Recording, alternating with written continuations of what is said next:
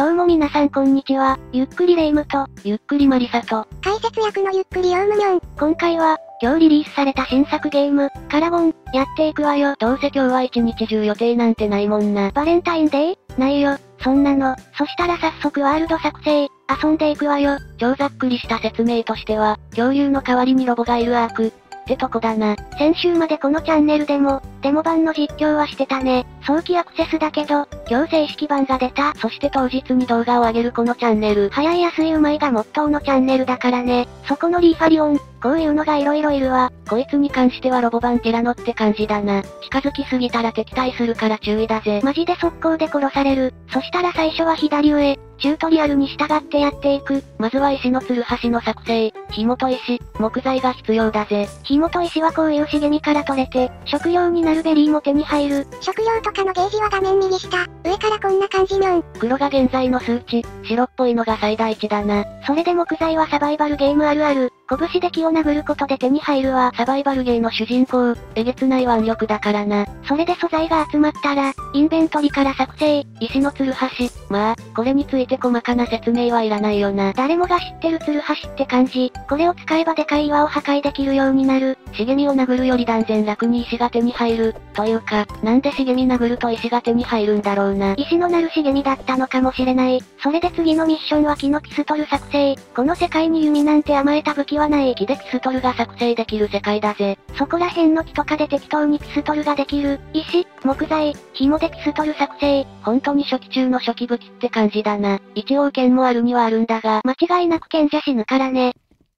それでこの銃で使う弾薬なんだけど、そこら辺に生えてるノーマルクリスタルがそれだわ。見た目的には全く銃弾に見えないんだが、これが銃弾の素材とかじゃなく、これがそのまんまピストルから発射される。どういう仕組みのクリスタルなんだそれで次は小さなロボから重要パーツを入手する。ロボットにはそれぞれ弱点の重要パーツがあって、解説が頭に入ってこないって話してもいいか？そこを撃ち落とすことで、重要パーツをゲットできるんだにょん。小型、中型、大型のロボットがいて、ラジオンとかサベリオンってやつが小型の部類ね。あそこに小型ロボのラジオンがいるが、レベル55って書いてありますけど。まあまあ、任せて任せて、デモ版で鍛えた能力、もはやビーター。こんなんチートや、55レベだろうが私。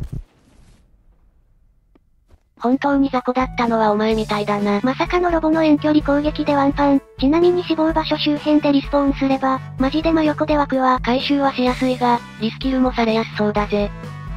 それで探しに探し回って、やっと見つけた。8レベのサベリオン、まあ妥当なレベルだな。むしろ55レベとか初めて見たしね。ワンパンされるの、マジで一食い強いよな。8レベなら楽々。こんなもんで撃破。そこに落ちてる光ってるのがマシンパーツ。小型マシンパーツ。これが必要だったやつだな。あとは倒したロボから古びた鉄ってのが手に入って、味方のロボを作るときにこれが必要。結構使うだろうし、しっかり集めておきたいんだぜ。そしたら拠点作成、初期設定だとタブで建築ホイールを開けて、まずはここにある専用フラッグってのを設置。これの範囲内じゃないと建築ができないんだぜ。敵が湧かないとかもあるのかなその辺はわからない。そしたら次は木の基礎を作成。建物の土台だな。この上に色々作っていくぜ。それでさっきゲットした小型マシンパーツで、石の作業台、これで色々作れる。石のピストルとかも作れるんだが、一番これで役立つのはスキャナーってアイテム。まあこれに関しては後で細かく紹介する。というか、これにも小型マシンパーツ必要で今は作れない。小型ロボが全く周りにいないっていう。とりあえずマシンパーツのいらないものから作成していく。まずはベッド。まあベッドだな。説明として機能してるようで機能してない。秒スキップできる家具。まあ大事ね。特に動画だと暗かったりは致命傷。投稿者的に大事なんだぜ。それでキャンプファイアも作成。近くにいると HP が回復するやつだな。その発想になるの一部の人だけだから、この世界、普通に羊とかもいて、それから落ちる肉を調理できるアイテム。そしたらまた小型マシンパーツが必要だから、探してるんだが、全く小型なロボが見当たらないんだぜ。仕方ない。デモ版で見つけた裏技を使おうか。パート1から裏技を使うなんてことある？このゲームのこういう時に役立つ裏技。それが、セーブして終了。ロボリセマラ。デモ版の最後でやってたやつか。これで改めてワールドを読み込むとね、ロボとかが全部リセットされて、再生成される。ワールド閉じたら、ロボが消えるみたいなんだぜ。それでちょっと待てば、ロボが湧き出すはずだから、小型が出るまでリセマラしまくれば OK。パート1でやっていい作戦ではない気がする。めっちゃ便利。皆さんもぜひ使ってみてください。それで小型マシンパーツが手に入ったから、サルベージャーっての作成。ロボから落ちる古びた鉄を回収鉄にできる家具ミョン。回収鉄は味方ロボを作るときに必要、ほぼ必須の家具だな。それでさっきからちらほら動画に映ってて、気になった方もいるんじゃないかな。拠点真横にある廃墟。細かな設定は把握してないが、この世界は、荒廃してロボが徘徊する世界。ってモチーフっぽいよな。建物の中には強いロボがいるっぽいんだけど、ここの建物の中にはいない。のかな？まあ何にせよ今行くべき場所ではないぜ。本当に入ったら速攻で死ぬと思う。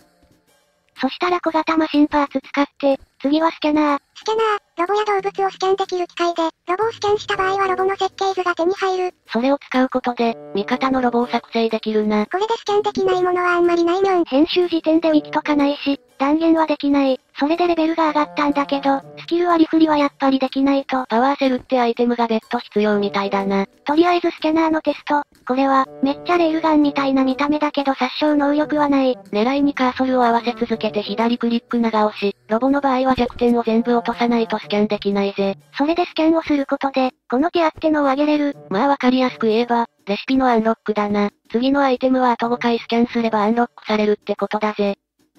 とりあえず色々スキャンできそうなのも探しつつ、こっち側、雪原バイオームがすっごい気になる。デモ版でやってた時は雪原には行けなかったからな。ここからは完全初見。マジで気になるぜ。ずっと話してた知識もデモ版のものだしね。初見じゃないからなんとか解説できてるだけだぜ。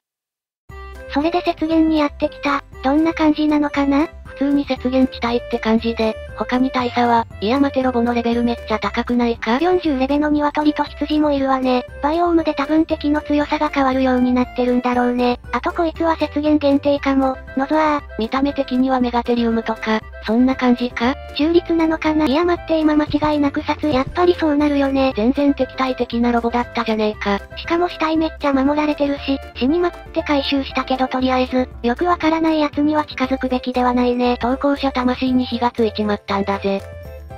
こんなところにいられるか、私は帰らせてもらう。ああもう100%で死ぬ人のセリフです。それで動画最後に、ロボのスキャンと、味方ロボの作成、それやってから今回は終わろうか。味方ロボを作るにはまず、光の柱が出てる機械、ロボットコンストラクター、ロボコンを見つけて、米印ロボコンは正式故障ではありません。そこから出てくる敵のロボをまず倒す。水中だったせいでマジで見づらいけどね。動画として最悪な場所なんだぜ。それでロボをスキャンするにはマシンパーツをまず全部落とす。そしたらロボがスキャンできるようになる。スキャンすると設計図を入手できて、それを使ってロボットを味方にできるな。ロボコンは青、黄、赤の3種があって、青は小型が、黄色は中型までが、赤は大型までが作れる。スキャン完了。これで設計図ゲットだぜ。スキャンしたロボのレベルも反映される。まあとりあえず6レベで、多分順番としては今やってるの逆だよね。設計図ゲットしてからロボコンに行く、が普通だろうな。そしたら設計図をホットバーの0番、一番右に登録して、その状態でロボコンにインタラクト。これで味方ロボが作成されるんだが、いやマジで水中のやつでやるべきじゃなかった感が。普通の作成はデモ版でやってるしまあね。それでしばらく待って完成。サベリオン。作成できたらサドルとかなしで、そのまま起乗できる。とりあえず一旦地上に上がるぞ。水中でマジで何も見えてないからね。サベリオン、ロボ版サーベルタイガーかな？移動速度がそれなりに速い。レベルは7だし小型だし、戦闘向けではないかもな。まあそれでもいないよりは断然優秀。小型のロボぐらいなら倒せるし、十分ね。動画冒頭で見かけたリーファリオン、ロボ版ティラノも仲間にしたいな。デモ版の壁、う、頭が、あれは嫌な事件だったよ。まあ今後も目標とかは立てず、まったりやっていくかな。今日リリースされて2000円、気になる方はぜひ、プレイしてみてくれだぜ。それでは今回はこの辺りで、ご視聴ありがとうございました。